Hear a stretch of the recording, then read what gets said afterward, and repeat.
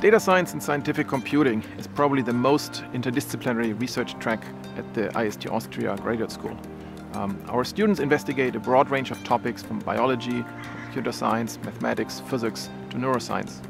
The IST was really helpful because it offers a lot of opportunities to switch fields or to connect fields, um, and this is something I really took advantage of. I'm a PhD student in Bernd Bickel Group and we usually work in digital fabrication in computer graphics. For my current problem, we are investigating how to design inverse problem systems that can help us evolve the structures from one ship to another. While each of the projects is unique, they all rely on advanced data analysis, statistics, or numerical simulation techniques to tackle problems from science or engineering. I enjoy working with robots and how they how do they deform and how they're controlled.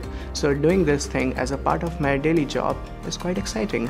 On the data science part, I basically analyze genetic data um, from plants, from flies, and maybe also from humans, um, trying to look for, for genetic patterns on gene expression regulation. Well, becoming a scientist was a dream of mine for a very long time. Uh, we have a saying that don't chase after achievements, go after excellence. Achievements will follow your suit. And chasing after excellence uh, is what becoming a scientist helped me on.